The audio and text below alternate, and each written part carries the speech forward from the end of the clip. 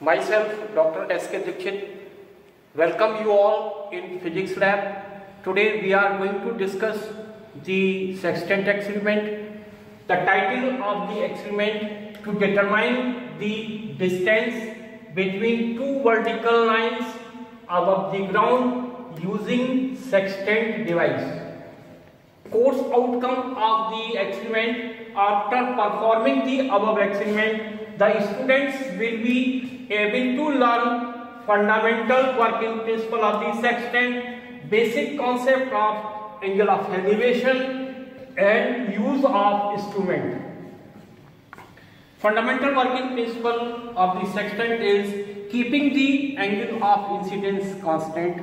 If we are rotating the mirror by an angle theta, then reflected ray is turned by the angle 2 theta. What is the special feature of the sextant? Without touching the lines or object, by measuring the angle of elevations, we can find out the vertical height. The formula used by the apparatus, the capital H is equal to small h Capital H is the distance between the target line and the ground. This is the capital H. Small h is the height from ground to reference line. Ground to reference line. This is the small h. X is a distance between two points on the ground. There is a C point and D point. Angle of elevations uh, from D point is theta 1 this is the target point, this is the reference point and angle made by the target point to the reference point is theta 1 from the D and theta 2 from the C basically. The theta 1 and theta 2 angle of elevations from C and D and uh, very important thing we are going to discuss here that angular distances always measured in degrees, minute and seconds. Very important relation all must know that 1 degree is equal to 60 minutes and 1 minute is equal to 60 seconds. The least count of the, there are three scales in the sextant, main scale, circular scale and vernier scale and the least count of the main scale is 1 degree, circular scale is 1 minute and vernier scale is 12 seconds respectively. What is the formula of the least count? minimum reading on the main scale upon total number of divisions on the vernier scale. This is our reference line and this is our target line. We have to find out the distance from target line to reference line. This is approximately 25 centimeter. How we are uh, setting the uh, uh, taking observations in the sextant the first one is the angle of elevation determination when zeroth error reading is subtracted from the angular elevation reading, how the zeroth error reading is taken. When the virtual image of the reference line is coincided with the real image of the reference line in the optical instrument then zeroth error reading will be taken. When the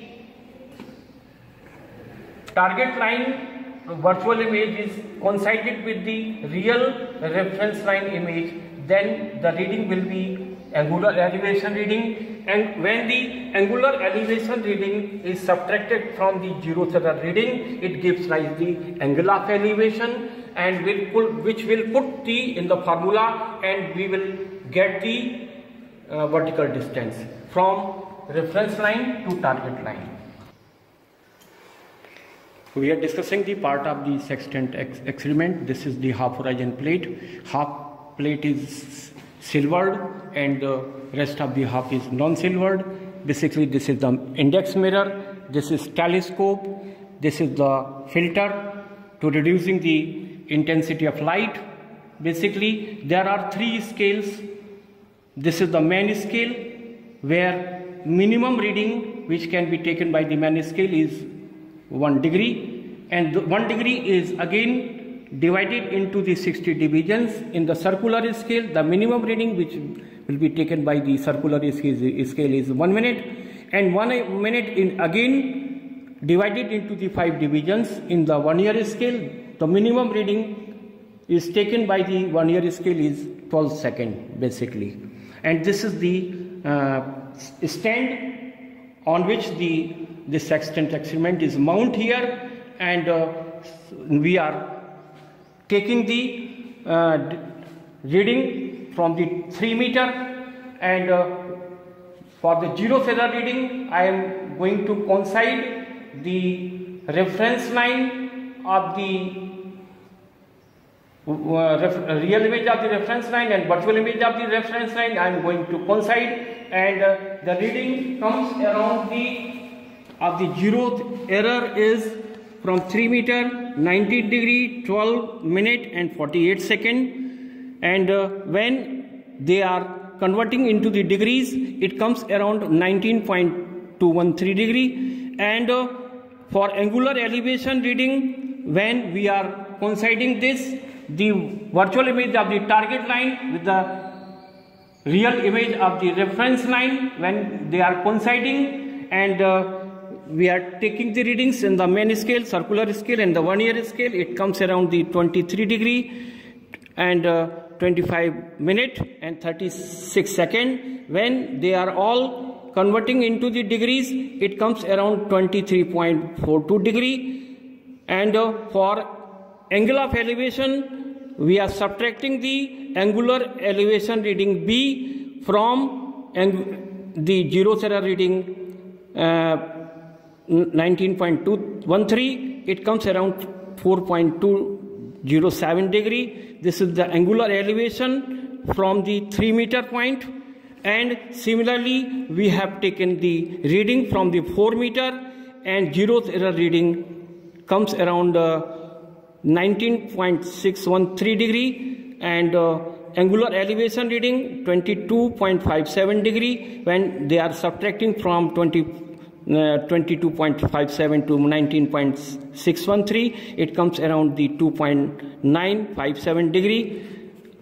This is the angle of elevation from 4 meter.